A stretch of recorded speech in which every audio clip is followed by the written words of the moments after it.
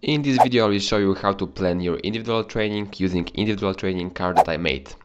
Card is available in 9 languages, so check the video description to get it. Okay, let's start. That's a common situation when you have some free time and decide to use it for training. Of course you have good intentions, you want to get better. You're getting ready, gearing up, taking the ball and finally you are on the pitch. You shot a few times on the empty goal, do some juggling and realize that that's not so fun when you are alone. You're going home and spend this time in the other way. It doesn't have to be in this way. Individual training has to be planned if it is supposed to work.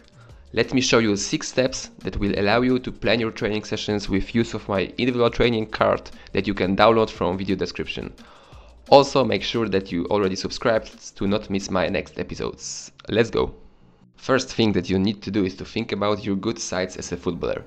Maybe your shot is really powerful or you are really well motivated. Maybe you are fast and has a great ability to intercept the ball. Think about it and write it down. Find as many qualities as you can. Next step is to do a similar list but about football things that you can be better in. Try to be really honest with yourself if you want to be a good player, you need to know your weak spots as well as your good sides. Don't forget to write them down on your individual training card. Take your time, don't rush, take it easy. Third thing, find your trusted person that you will help you with assessing your good and bad sides and that you can share your progress with. It gives you another point of view and a lot of motivation, what is really really important in individual training. Step number 4. You need to decide how often will you train individually. My recommendation is to train 1 to 2 times in weeks with team training and up to 4 times in weeks without team training. Of course, every situation is different, you don't have to be so strict with it.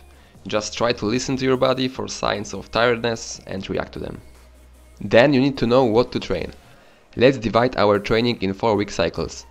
During one cycle, spend 3 weeks training on things that you put on your I want to get better in it list and 1 week on things that you put on your I'm good at it list. Training things that you are already good at will give you big boost in self-confidence level.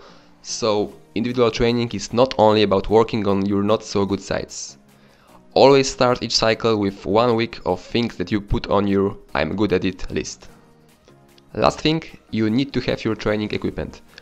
Only thing that you really need to have is the ball. You don't have to have cones and other stuff, all of these things can be replaced by water bottles, shoes and things like that. Of course, more training equipment will give you more options for training, but it's not really necessary at the beginning. Okay guys, that's it. That were all 6 steps that you need to go through before start of your individual training.